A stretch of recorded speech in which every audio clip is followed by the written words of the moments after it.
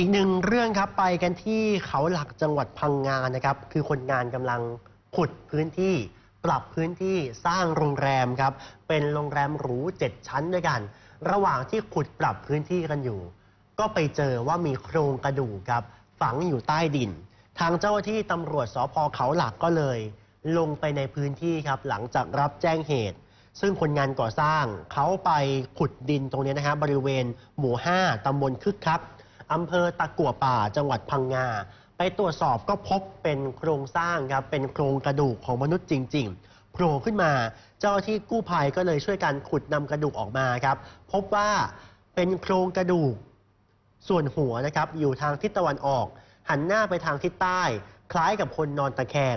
ไม่มีเนื้อไม่มีอวัยวะที่เป็นไขมัน เหลือแต่โครงกระดูกล้วนๆครับ ตัวของฟันคล้ายกับฟันของผู้ใหญ่ กรามด้านบนมีฟันเกือบครบ แต่ว่ากรามด้านล่างครับ มีฟันซ้ายเพียงแค่ครึ่งเดียว กระดูกช่วงสะโพกมีความเสียหาย ตัวของรูปร่างโครงกระดูก มีผ้าคล้ายผ้าถุงหรือว่าผ้าขาวม้าหลงเหลือปิดอยู่เอาไว้บ้าง ไม่มีเครื่องประดับครับ จากร่องรอยไม่มีการแตกร้าวของกระดูกไม่มีการแตกร้าวของกระดูกนะครับ จึงนำโครงทั้งหมดมาเก็บเอาไว้ครับ แล้วก็ก่อนหน้านี้เขาบอกว่าเคย พบมีโครงกระดูกของคนงานอยู่จำนวนหนึ่ง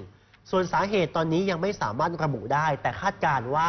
น่าจะเป็นโครงกระดูกของนักท่องเที่ยว หรืออาจจะเป็นชาวบ้าน ที่มาเที่ยวเขาหลักเมื่อปี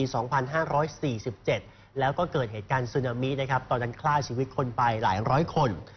แต่ว่าทางทางสถานีตำรวจภูธรเขาหลักตอนนี้ก็ส่งโครงกระดูกครับไปให้คณะแพทยศาสตร์ มหาวิทยาลัยสงขลานครินทร์ตรวจสอบเพื่อหา DNA หรือว่าอายุของการทับถม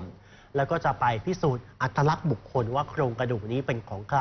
ถ้าสมมุติว่าเป็นชาวบ้านในพื้นที่ก็อาจจะติดต่อให้มารับโครงกระดูกไปทำพิธีกรรมทางศาสนาต่อไปอืมครับก็ต้องไปดูนะครับว่าครับเป็นใครนะครับเพราะพื้นที่เขาหลักเองนะครับในช่วงที่เกิดสึนามิเมื่อปี 2547 ก็ถือว่าเป็นหนึ่งจุดนะครับที่ได้รับความเสียหาย แล้วก็มีผู้บาดเจ็บแล้วก็เสียชีวิตเป็นจำนวนมากครับ